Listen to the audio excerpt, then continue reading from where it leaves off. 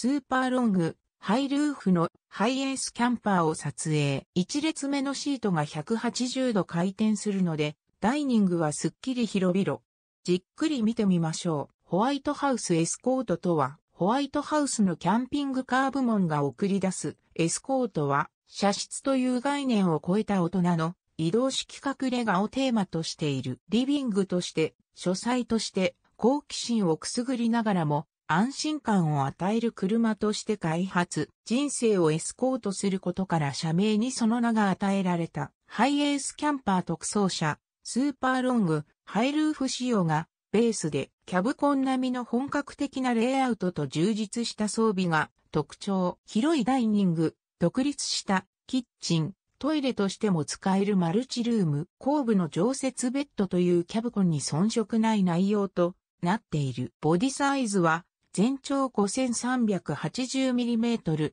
全幅 1920mm、全高 2390mm、室内高 1630mm というゆとりの空間をフルに活用したレイアウトは乗車定員4名、就寝人数4名に対応するから、家族で休暇を過ごすのにはぴったりの選択肢なのだ。スライドドアを開くと目に飛び込むのがゆったりとしたダイニングスペースである。二つのベッドそのサイズは、ハイエースをベースにした場合は、二列目と三列目シートの間にテーブルを配置するものが多い。それが、エスコートでは、運転席、助手席を回転式にして、後ろ向きにできることにより、二列目シートとの間に大きなテーブルを設けられる。この仕掛けによって、ゆったりとしたダイニングスペースは見るからに広い。キッチンは車内の左サイドに配置され、スライドドア開後部の中ほどまで延長することにより、水タンク、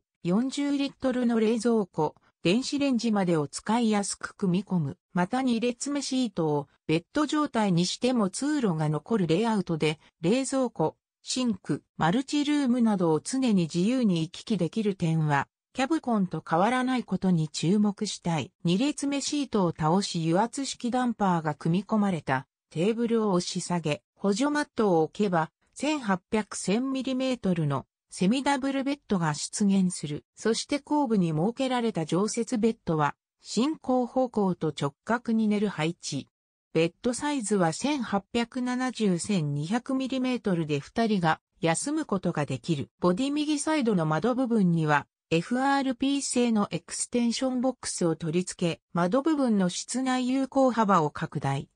これにより、常設ベッド部分では、最大 1870mm の室内幅を確保した加湿、マルチルーム、価格について、ベッドの下には、スクエアなラゲージスペースを用意。ベッドマットは、分割式のため、大きな荷物を積む際は、簡単に取り外すことができて使い勝手がいい。ダイニングスペースと常設ベッドの間には収納。トイレとしても利用できるマルチルームが設けられ、用途、好みに応じて使える有用なスペースとなるホワイトハウスのエスコートには2.7リットルガソリンエンジンと2.8リットルディーゼルエンジンをラインナップ。駆動方式は 2WD、4WD が選べ、すべて AT 仕様だ。価格は2.7リットルガソリンエンジン 2WD の649万円から2.8リットルディーゼルエンジン 4WD の729万3000円という値付け、主なオプションとして